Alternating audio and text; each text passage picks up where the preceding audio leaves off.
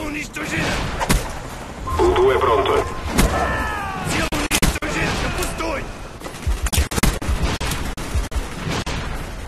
Un 2 disponibile.